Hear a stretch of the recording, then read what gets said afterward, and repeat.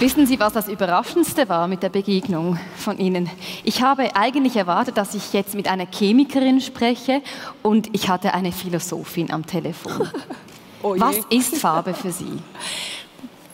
Das Leben ist Farbe. Also für mich ist Farbe. Es gibt keine Form ohne Farbe.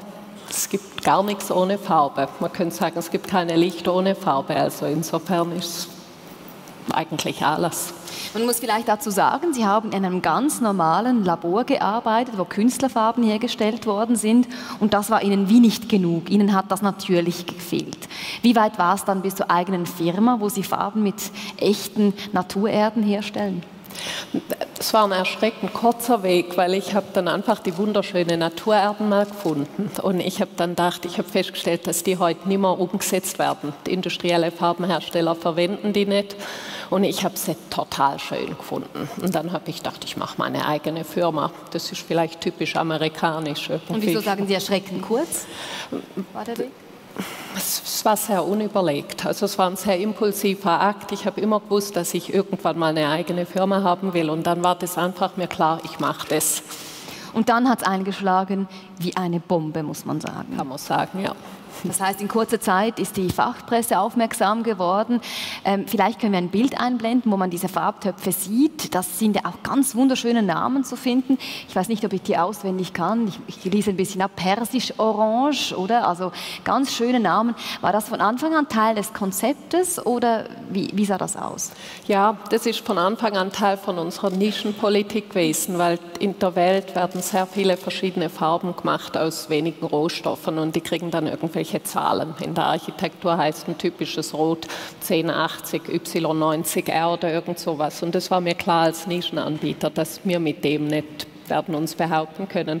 Und ich habe diese Rohstoffe so schön gefunden oder die Vorstellung, dass ein bestimmter Künstler eine bestimmte Farbe entwickelt hat und das nimmt sie, das macht sie dann unaustauschbar. Und insofern war diese Kultur und auch Sichtbarmachen von einer bestimmten Farbkultur von Anfang an für uns einfach ein Tragpfeiler von unserer Arbeit.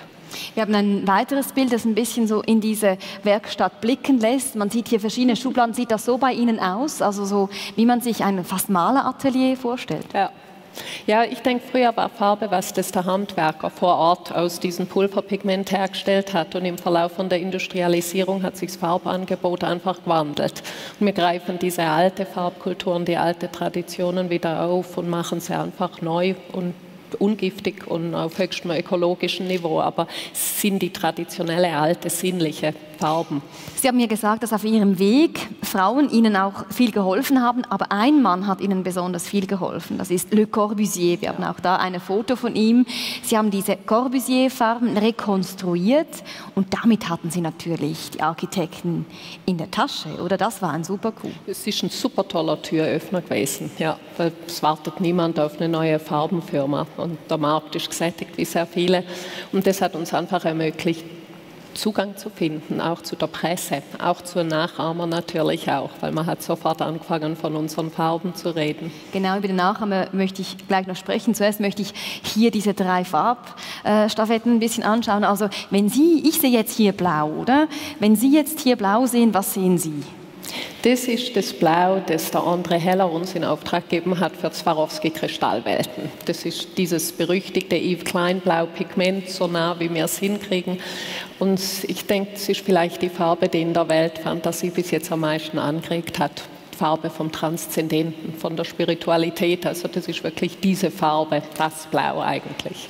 Sie haben mir gesagt, dass Architekten, die können nur über Farbe, ich hoffe, es ist kein Architekt hier im Saal, die kommen ein bisschen schlecht weg, aber Sie haben mir gesagt, dass die nur über Farbe reden können, wenn Sachlichkeit ins Thema reinkommt. Ja. Oder von Ihnen als Chemikerin können Sie das wie quasi besser nehmen, besser akzeptieren. Also wenn Sie jetzt äh, eine Farbe in dieser, eine Wand in dieser Farbe malen möchten, wie bringen Sie das an den Mann, an den Architekten? Wie erklären Sie jetzt eben diese Farbe? Die Farbe, die kommt aus dem Le Corbusier-Repertoire. Und viele Leute, die Angst haben vor Farbe, aber eigentlich gern Farbe hätten, die haben dann doch, wenn sie wissen, der große Ästhet Le Corbusier hat sowas eingesetzt, dann denken sie, na dann, wenn der Bauherr möchte und der Le Corbusier hat es legitimiert, dann könnte es funktionieren. Andere Farben wie das Blau, wenn Sie so davor stehen, im Schatten sehen Sie, dass es noch viel blauer wird im Schatten. Also diese Sprache dann am Architekt sagen, es gibt ein Repertoire von Farben, das im Schatten eine ungeheure Wirkungs- und Leuchtkraft entfaltet.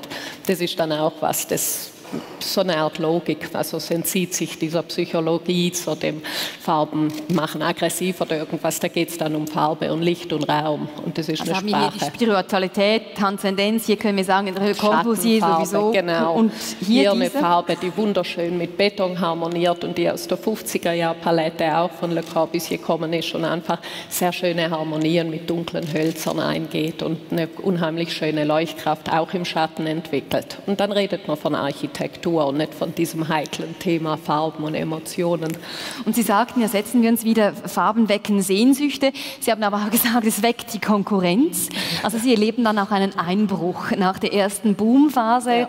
gab es plötzlich auch solche, die genau das Gleiche machten oder das Gleiche verkauften sozusagen. Was genau. haben Sie dann getan? Äh, Ich habe dann, am Anfang haben die Leute uns gesagt, du brauchst ein super gutes Vertriebskonzept. Und ich habe so mit der typischen amerikanischen Arroganz vielleicht gedacht, ach was, ein gutes Produkt verkauft sich von selber, die Leute erkennen da andere Inhalte und dann wird es schon funktionieren. Und dann, wo wir gemerkt haben, dass wirklich ein gutes Vertriebskonzept vonnöten ist, haben wir einen Vertriebsspezialist engagiert und haben jetzt ein Kommunikations ähm, eine Plattform geschaffen, die auch transportiert, dass unsere Farben wirklich verschieden sind von dem, was die Nachahmer machen. Und das ist eigentlich eine, wäre von Anfang an eine gute Idee gewesen. Was ich aber nicht ganz verstehe, ist, dass der Markt, der wäre ja eigentlich viel größer. Sie könnten viel mehr produzieren, viel mehr liefern. Der Betrieb ist auch sehr, sehr schnell gewachsen. Die Mitarbeiterzahl hat sich äh, sehr schnell äh, verdoppelt und so weiter. Wieso wachsen Sie denn nicht exponentiell zur Nachfrage? Wir haben uns überlegt, wollen wir ein Lizenzprodukt machen und wollen wir Branding und Lizenzgeschäfte betreiben oder wollen wir wirklich eine regionale Gourmet Slow Food Drei-Stern-Küche bleiben. Das hat vielleicht mit meinem Alter was zu tun, aber das Regionale und die regional gewachsene Kultur und auch die regionale Rohstoffe ist einfach was, das mich begeistert. Und ich brauche weniger Schlaf, wenn ich Sachen mache, die mich begeistern. Und das ist wirklich, was Herz von meiner Firma einfach daheim ist. Und insofern ist das unser Konzept und es macht uns Freude. Das heißt auch, Sie wollen nie größer werden als was? 19, 20, 30 Mitarbeitern? Gibt es eine fixe Zahl?